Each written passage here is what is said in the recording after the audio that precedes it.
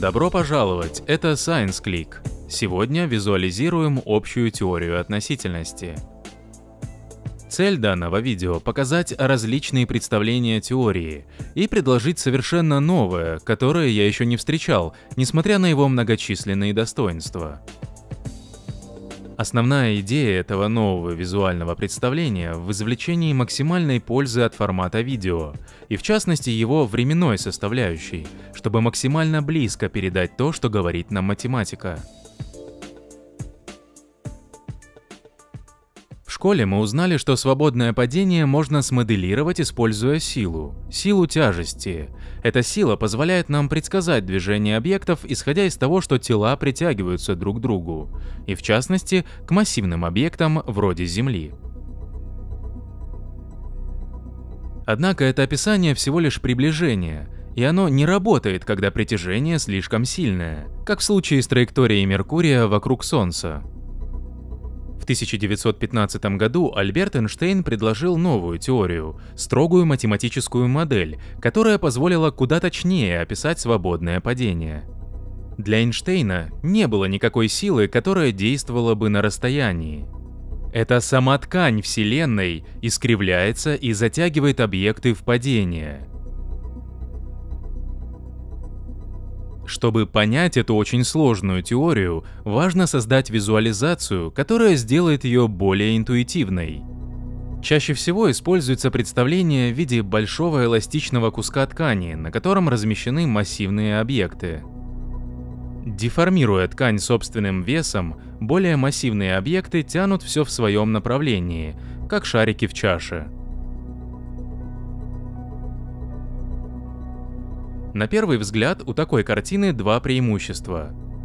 Она очень проста и интуитивна, и помогает нам понять, что тела притягивают друг друга опосредованно, через ткань, на которой они лежат, пространство-время, геометрия которого может изменяться.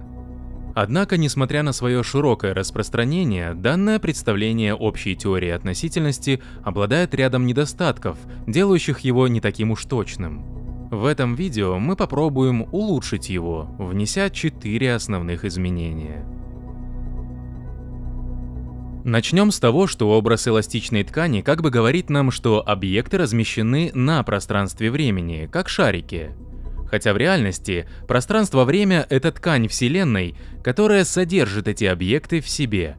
Следовательно, одно из улучшений, с которого можно начать — сделать объекты плоскими на поверхности — чтобы было понятно, что они не выступают за пределы пространства-времени, а находятся внутри него. Далее, одна из серьезных проблем данного представления в том, что оно объясняет притяжение притяжением. На вопрос, почему яблоко падает на землю, данная визуализация отвечает, что это потому, что яблоко тянет вниз, что заставляет его падать, как шарик в чаше. Но неприемлемо объяснять притяжение внутри пространства-времени притяжением снаружи пространства-времени. Значит, нам нужно найти объяснение получше. В частности, более строго говорить, что если объекты следуют по углублению, которое создает Земля, то это потому, что объекты двигаются по прямой, но в искривленной геометрии. При падении объекты двигаются прямо вперед, но кривизна пространства-времени создает впечатление, что их траектории отклоняются. Чтобы понять это, можно представить поверхность сферы, на которой два муравья будут смотреть на север. Вначале две траектории идут параллельно, и мы можем подумать, что по мере движения вперед эти две траектории никогда не пересекутся. Однако два муравья в итоге встречаются на Северном полюсе. Это возможно благодаря криволинейной геометрии сферы, на которой прямые линии сближаются. Внутри пространства-времени происходит похожее явление, и кажется, что объекты притягиваются друг к другу, в то время как они просто следуют кривизне геометрии по прямой. Однако картина упругой ткани все еще вводит в заблуждение. И правда, можно подумать, что если пространство-время может изгибаться, то это потому, что существует измерение более высокого порядка. Вот тут, например, кажется, что двумерное полотно провисает в третье измерение, В реальности это не так, и математика относительности не требует никакого измерения более высокого порядка, чтобы Вселенная изгибалась. Поэтому предпочтительнее представлять вид на это полотно не сбоку, а сверху и с координатной сеткой для иллюстрации кривизны.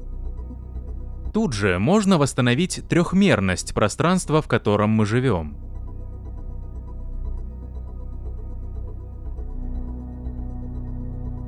Наконец, самая важная проблема данного представления – наша диаграмма полностью игнорирует временное измерение – Пространство-время – объект с четырьмя измерениями. Три измерения пространства и еще одно измерение времени, которое точно так же может гнуться и искривляться. Достоверно изобразить четырехмерную геометрию невозможно, поэтому без хитрости не обойтись. Во-первых, в каждой точке пересечения координатной сетки можно добавить маленькие часы – Таким образом, пространственная сетка станет пространственно-временной.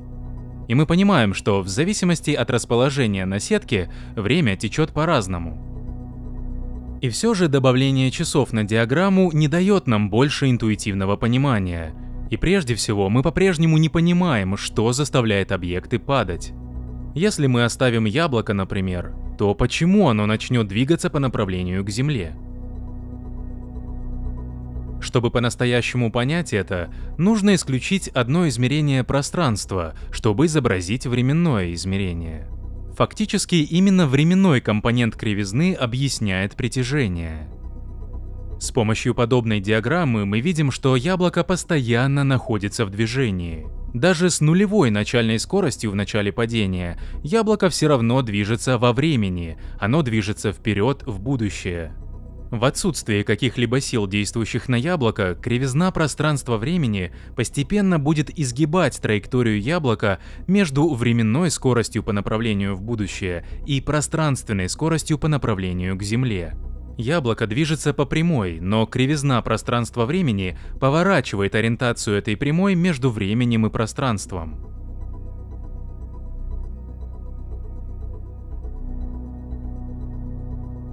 Таким образом, мы понимаем, что если яблоко падает по направлению к Земле, то это потому, что оно начало со скорости во времени. Искривление пространства-времени, вызванное Землей, просто перевело временную скорость в скорость пространственную.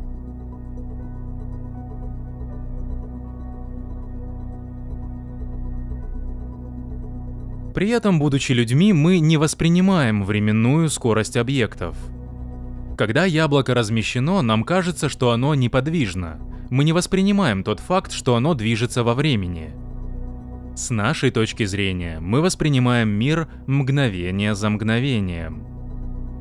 И эта диаграмма, на которой объекты образуют туннели во времени, мировые линии объектов, не так уж интуитивна. Поэтому нашим последним шагом будет нарезать эту диаграмму, отделить мгновение за мгновением, чтобы получить анимацию, в которой учтено время.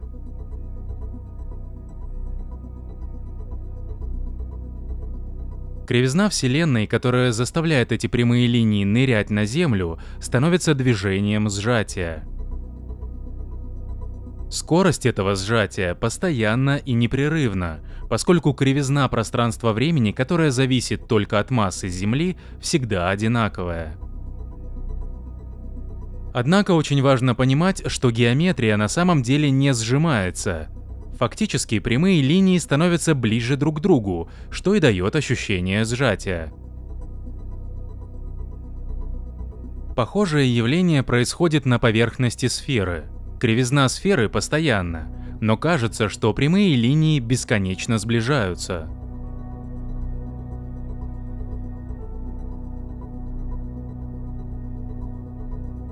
Именно такое визуальное представление общей теории относительности я считаю наиболее подходящим.